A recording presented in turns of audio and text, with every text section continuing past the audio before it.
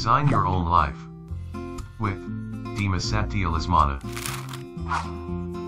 Subscribe, tekan tombol bel, share dan like videonya ya guys. Terima kasih.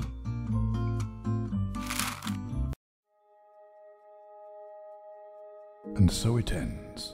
Another 12 months of opportunities and challenges. You had your days to strive and get the most out of them. You had your time. How did you use it? Did you acknowledge its value and put it to the best use? Or did you just let things happen on their own?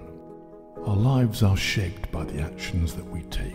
The way we choose to do them is a result of the knowledge that we have and how we put it to use. Whether we're going towards a better place in our life or whether we're not is entirely a matter of the choices and decisions that we make. What did you choose this year that bettered your life? What decisions did you take that improved not just yourself, but those around you as well? Each year that we get to live through is a proof that life wants us to do something here on this planet. Even though we get angry and frustrated when things don't go as we planned, life still gives us more days and months. It waits for us to act, to explore, to learn, and to go as deep as possible into what this terrestrial experience means. How did you live your months and days? How deep did you explore life this last year? Every day that we get to breathe more air into our lungs is a gift that we might take for granted. We sometimes forget to be grateful for the small things, and we focus on getting that external gratification that will never satisfy us. Are you grateful for this year that's about to end? Did you acknowledge the small things that life gave you, like health, breath, and energy? All the experience you've accumulated this past 12 months is a base on which this new year will set its foundations. Everything you do now creates the environment for your future. Everything you did and how you did it created the path that got you to where you're standing now, in front of this new beginning.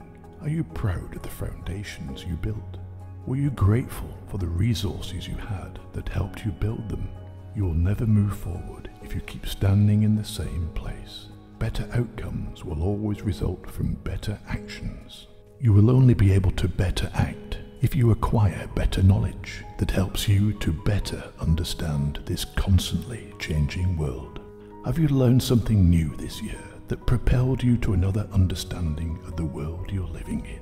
What are the lessons that you took in order to pass the exams that this new year is going to bring along? How prepared are you?